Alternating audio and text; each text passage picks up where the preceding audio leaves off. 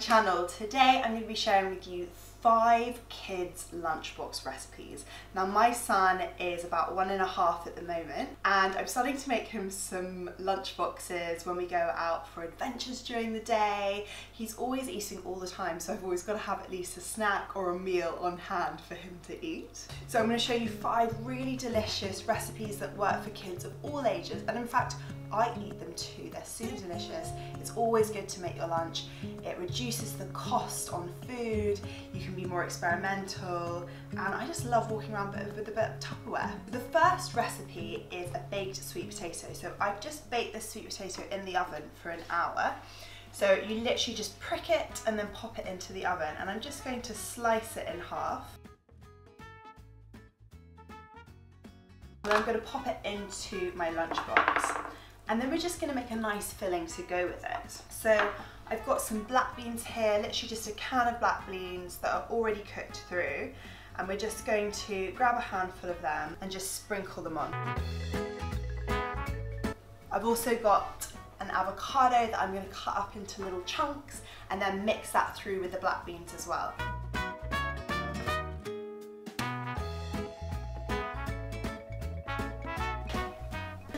Flavour and kick, I'm going to add in a sprinkle of cumin and paprika as well, which will just bring out the flavours for this delicious dish. And there you go, first lunchbox recipe, super simple, super easy.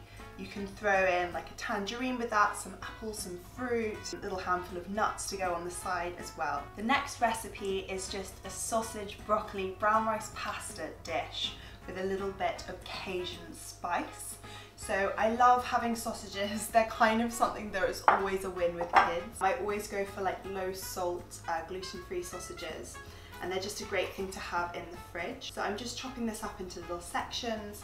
And of course you could do this with chicken, you could do this um, with tofu if your little one's vegetarian. But this is just like always a winner Shay's going through a slightly fussier period pasta, sausage, broccoli. I mean, it's like every kid's dream. So I slice up the sausages into bite-sized chunks. I mix it in with some cooked brown rice pasta that I'm just stirring around and then some cooked broccoli that I've just steamed.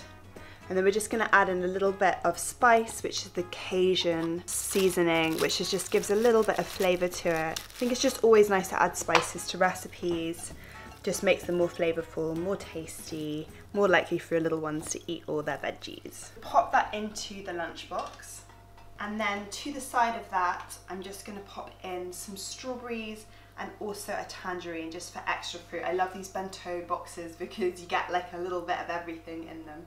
The next recipe is sweet potato falafel. So there's a little bit of cooking in this one, but really simple. I've just got some cooked chickpeas, which you can get in a can or a jar. I'm putting them in to the blender. Blending that with some baked sweet potato. So I baked two sweet potatoes from before and I've just got half a baked sweet potato. I'm putting the skin in there because the skin's got tons of fibre, so much goodness for our little ones. Also adding in some oats and then some cumin as well for spice. I'm going to blend this all together. I've got a baking tray and I'm just going to drizzle over a nice amount of olive oil. This is what we're going to bake them in. So traditionally falafels are fried, just means they're a lot more oily, but I like to keep them quite light and just bake them in a small amount of oil. I've got the mixture all combined here. Just grabbing a tablespoon of the mixture and I'm just going to roll it roughly into a ball in my hands. And then I'm going to pop it into a bowl of sesame seeds just to coat them to get those really nice traditional kind of Middle Eastern flavours coming out of it. Obviously, traditionally they don't use sweet potato in it, but I'm all about getting more vegetables into our little ones' lives and eating the rainbow, and this is a fantastic way of getting them in. So once they're fully coated, I'll just pop them into the olive oil. I'll dip it one side and then flip it over the other side, ready to go in the oven. So I'll repeat that with the rest of the mixture and then we'll bake it in the oven for about 20 minutes until they're nice and crispy.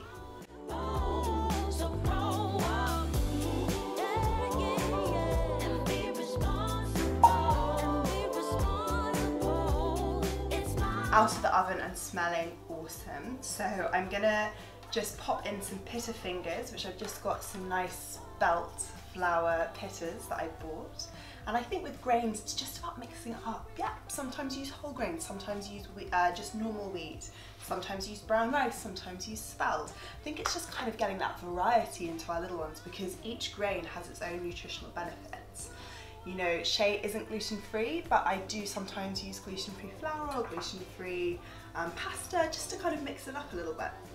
Um, so I've popped the pitta fingers in and then I'm just gonna add in the sweet potato falafels.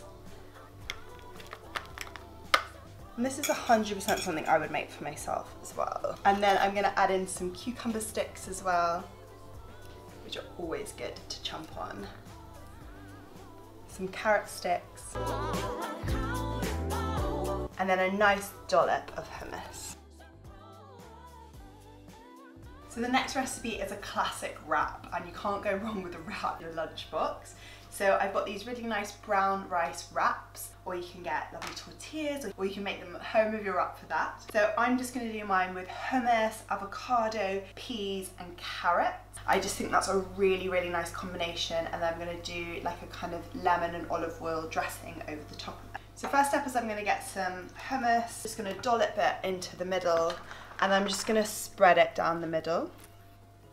I tend to kind of focus everything in the wrap around the middle third of the wrap and then use the other sides just to wrap it over.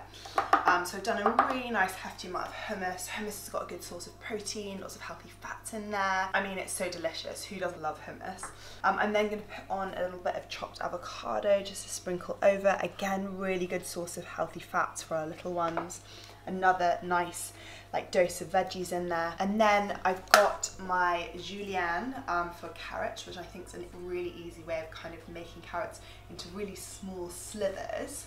So I'm just going to directly do it on there. And that just makes these lovely little matchsticks, which are just really easy to eat. I'm going to add on a sprinkle of peas because if I put peas in anything, my son eats it. Um, so just literally a handful of peas goes in there. So it's a super healthy vegetable wrap, which I love. I'm gonna add a little bit of lemon juice as well. I think the freshness of lemon juice really brings out the flavors. It will keep the wrap nice and fresh as well. So a good squeeze of lemon juice over that. A little drizzle of olive oil as well. And then I'm gonna sprinkle over some black sesame seeds. You could use normal white sesame seeds or nuts or anything else just to add in an extra little bit of plant protein, an extra bit of crunch. Doesn't that look fantastic? It's just fold up the bottom, doesn't matter which end, and then wrap it either side like that. We've got lovely wrap like this.